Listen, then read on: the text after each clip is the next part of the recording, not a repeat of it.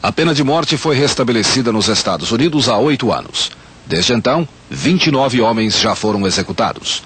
Do lado de fora da prisão central da cidade de Raleigh, na Carolina do Norte, onde Velma Barfield passou os últimos seis anos, centenas de pessoas manifestavam sua opinião contra ou a favor da pena de morte.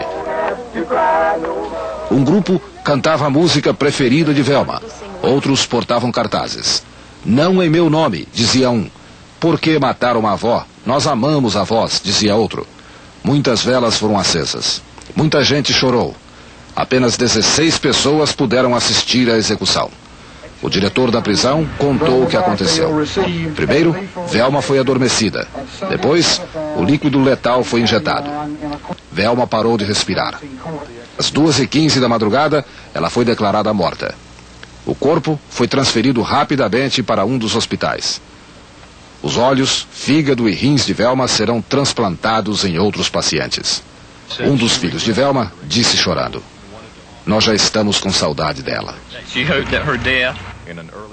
Velma morreu por ter envenenado a mãe, o noivo e três outros velhos de quem tomava conta.